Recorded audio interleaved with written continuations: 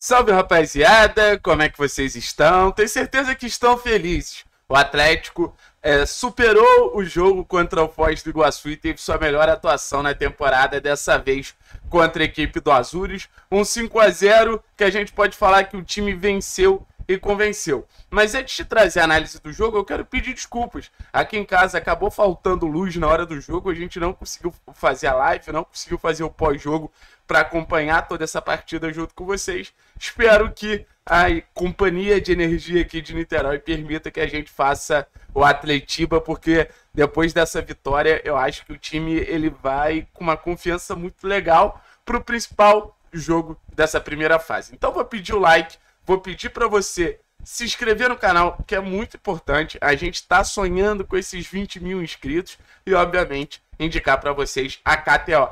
Com o código 3 pontos, você ganha 20% de bônus no seu primeiro depósito. Não perde a oportunidade. Vai lá e tá chegando a Atletiba. É uma boa oportunidade, porque vocês sabem que contra a gente, é, os caras dão uma tremida. Então é bom a gente botar um dinheirinho ali, fazer uma grana no final de semana nesse Atletiba. Já falei muito, agora vamos falar desse Atlético 5, Azures 0. Eu tenho a impressão que o Atlético ele tem que ganhar uma partida de 5 a 0 5 a 1 todo o Campeonato Paranaense, né?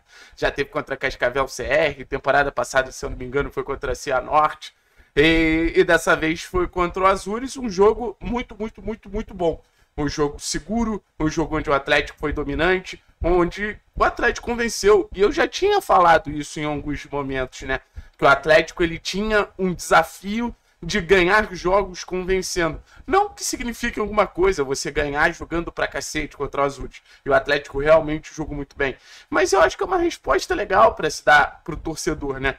Querendo ou não, futebol é entretenimento, futebol é uma diversão para a maioria das pessoas. Óbvio que tem gente que lida de uma maneira mais profissional, tem gente que lida de uma maneira mais. É, uma visão mais direta ali do jogo, podemos dizer assim. Mas quem quer se divertir vendo o jogo de futebol, quer ver uma atuação como a de hoje e o Atlético ele presenteou esse torcedor que novamente botou um bom público ali na Arena da Baixada. É, primeiro jogo depois da punição ali em relação às brigas do Campeonato Paranaense passado. E o torcedor acho que ele saiu satisfeito, sabe? Eu acho que ele saiu satisfeito porque, é, primeiro falando em questões coletivas, eu acho que tem dois pontos muito legais para se destacar. Primeiro, como o Atlético ele vem conseguindo soluções ofensivas. O Atlético ele enfrenta adversários em alguns momentos com linha de 5, com outra linha de 4, realmente buscando jogar fechado. E o Atlético ele se conecta muito fácil, se encontra muito fácil, busca, essa, busca essas soluções de maneira coletiva. Nunca, assim, é só na individualidade. E óbvio que em algum momento a gente vai precisar da individualidade. Óbvio que em algum momento a individualidade ela vai ser um ponto importante. Mas se você conseguir potencializar a individualidade a partir do coletivo, eu acho que você ganha muito mais. E é isso que o Atlético está fazendo. Então, assim, não adianta quatro marcadores em cima do Terence, porque ele arranja um passe pro Canobi. Não adianta o marcador fechar o chute do Coelho, porque ele acha o Vitor Bueno. Não adianta o marcador tirar a bola enfiada pro Rômulo, que o Terence ele pega a batida uh, na entrada da área e faz um bonito gol. Então, assim, é difícil marcar esse Atlético. É difícil anular esse Atlético. É um Atlético que ataca pelo lado, ataca por dentro, ataca é, com bola longa e faz gol, ataca jogando curto e faz gol. O começo ofensivo do trabalho do Paulo Turra, eu acho que é a grande surpresa. O pessoal esperava um Atlético reativo, um Atlético que tivesse pouco a bola. E é um Atlético que vai crescendo, como a gente falou ao longo do campeonato.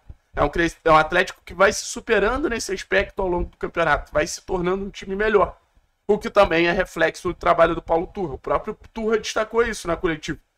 É reflexo do que a gente vem trabalhando no dia a dia. E dá para dizer, pelo menos nesse primeiro momento, eu quero ter muita calma, não ter nada ganho, sabe? Nem o Atletiba da fase de grupo a gente ganhou. Então tem que ter muita calma nessa avaliação. Mas até o momento o trabalho está sendo, é, vem sendo bem feito.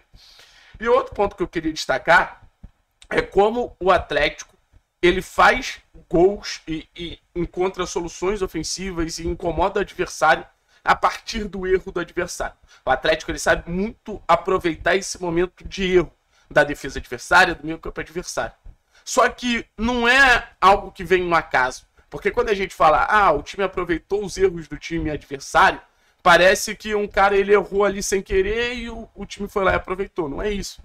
O Atlético ele provoca esses círculos, o Atlético pressiona, o Atlético incomoda, o Atlético diminui o espaço, o Atlético faz o cara se sentir confortável em todas as zonas do campo. Pelo menos foi assim contra o Azul. Não é um Atlético que deixa o cara ali em um minuto de tranquilidade. E óbvio, você precisa ter uma intensidade muito grande para isso. Você precisa ter um elenco grande para isso, porque você vai precisar fazer uma rotação, porque fisicamente exige muito da equipe. Mas o Atlético ele vem se encontrando muito nesse aspecto, sabe? Mais um gol de uma pressão bem sucedida. Na real, dois gols de uma pressão bem sucedida. Primeiro gol, o Terãs, ele aproveita uma segunda bola ali e bate, sabe? E o gol do, do Vitor Bueno é o Rômulo que rouba a bola e acelera o jogo ali com o Fernandinho, passa pelo Coelho, Vitor Bueno, gol. Beleza? Vou lembrar você de deixar o like, hein? Não se esquece de deixar o like não, porque hoje tem realmente muita coisa para falar.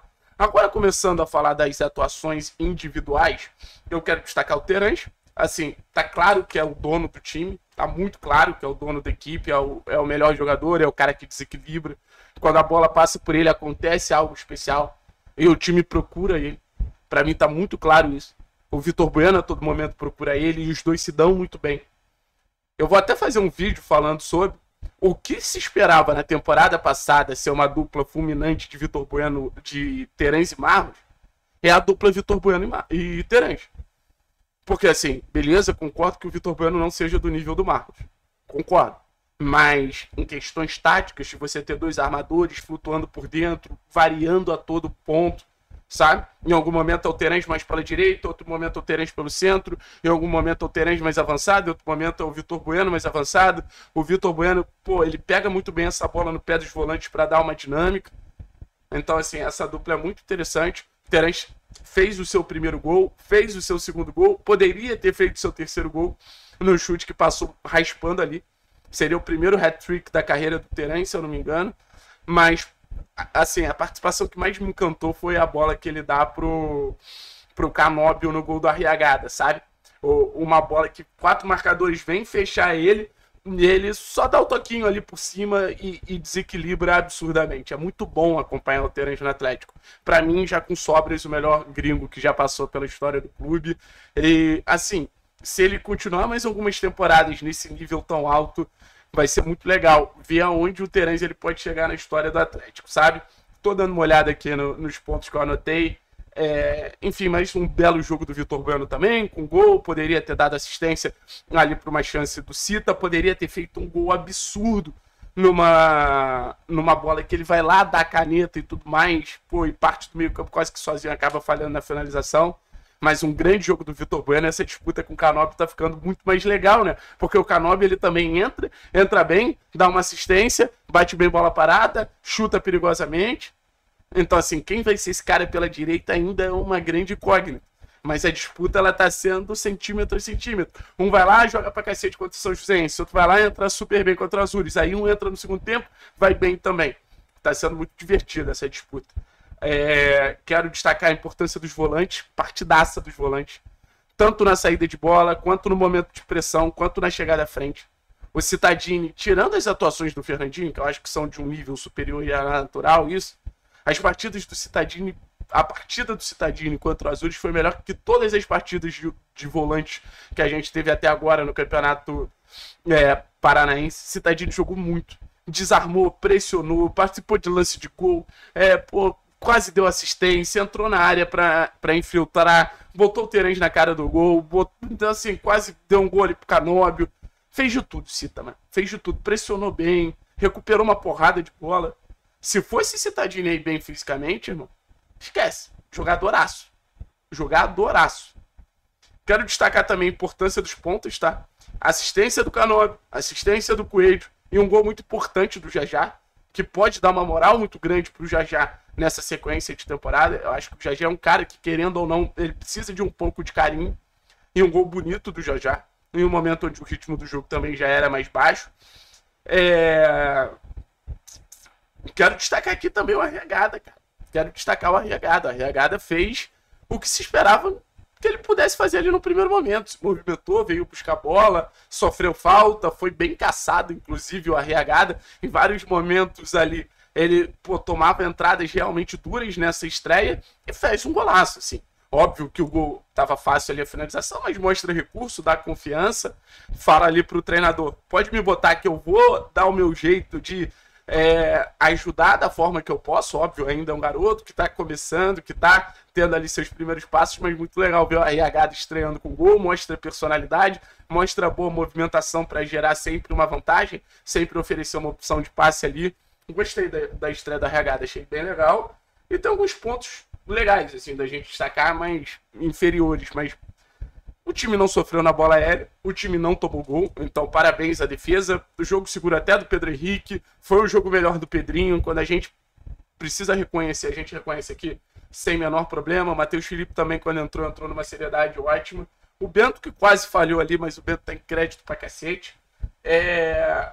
E o, e o Turra, né? O Turra ele tá sabendo usar esse elenco. Já já entrou, fez gol. Canobi entrou, deu assistência. É... O, o entrou e fez gol. Sabe, o Eric entrou, participou do gol do Jajá. Tá sabendo rodar o elenco, tá sabendo dar oportunidade, como foi pro Citadini, muita gente virou o olho ali. Ah, será que o Citadini deve jogar ou não? É, entrou e foi muito bem o Cita. Então acho que é mais um ponto importante. E vamos pro nosso top 5, né? Comenta aqui embaixo qual é o, o, o top 5 de vocês. O meu ficou o seguinte: pelo gol, pela estreia, acho que vale a moral. Luciana Arriagada entra no seu primeiro top 5. Depois vem Léo Citadini. Depois vem Léo Citadini. Gostei muito do jogo do Cita pressionando. Acho que esse, esse Cita bem fisicamente, cara, é, é um perigo ali para Deus e todo mundo, tá? Que é muito bom jogador. O terceiro, eu vou indicar o Coelho. Eu gostei muito do jogo do Coelho, quase fez gol, deu assistência. Foi uma válvula de escape muito interessante ali pelo lado esquerdo. Cara, eu sou fanzoca do Coelho. O que vocês viam sempre o Abner entrando no top 5 do ano passado, essa temporada vai ser o Coelho. E para terminar, a dupla, né? Dois, Vitor Bueno, jogou muito bem. É... Fez gol, poderia ter dado assistência, poderia ter feito outro golaço. E o melhor Davi Terãs, uma pré-assistência, dois gols, poderia ter feito mais um gol, mas o protagonismo que ele exerce é, é muito impressionante. Fernandinho poderia ter entrado top 5? claramente. O Canóbio poderia ter entrado top 5, claramente. E, enfim, o número de possibilidades ali é até maior.